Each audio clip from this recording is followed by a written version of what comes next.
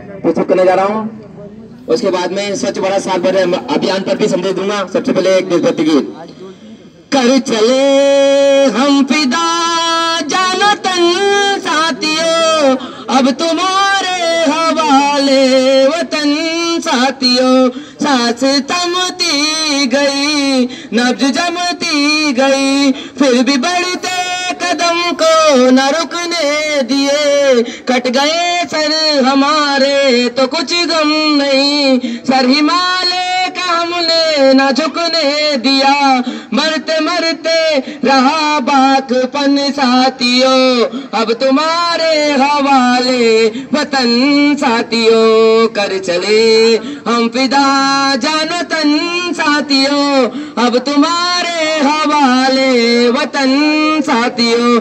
ज़िंदा रहने के मौसम बहुत है, मगर जान देने की रुत रोज आती नहीं। हुस्न और इश्क दोनों को रुसवा करे। वो जवानी जो खून में नहाती नहीं, आज धरती बनी है दुल्हन साथियों। अब तुम्हारे हवाले वतन साथियों, कर चले हम फिदा, जानो तन साथियों। अब तुम्हारे हवाले वतन साथियों। धन्यवाद। अब आपके हमें मिमिक्री सुनाने जा रहा हूँ। कल न बन तू ज़िंदगी का। कि कल न बन तू ज़िंदगी का। आज बनकर जी। कि कल न बन तू ज़िंदगी का। आज बनकर जी। एक दिन भी जी मगर इंसान बन बनकर जी। सबसे पहले जगदीप जी। अरे साफ़ सफ़ाई अभियान।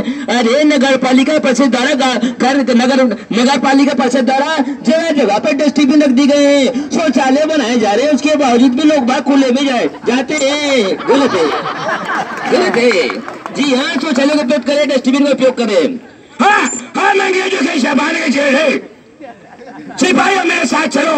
हम स्वच्छ भारत साल भारत अभियान से जुड़ेंगे। और सबसे कहेंगे कि स्वच्छता का ध्यान रखें डस्टबिन का उपयोग करें और खुले में सोचना जाए। क्योंकि तो हम भी अंग्रेज़ों के के जेल गए। हमारे टाइम पे ये शौचालय वौचालय हुआ करते थे। हमारे दादाजी खुले में जाते थे। वो बात तो मारो खोली, लेकिन आज शौचालय बन चुके थे शौचालय का उपयोग करें। हमारे अमजद खान जी की बात डस्टबिन का उपयोग करें, कचरा न फेंके, डस्टबिन में कचरा डाले और शौचालय का उपयोग करें। हमारे गाँव के एक बुज़ुर्ग साहब है।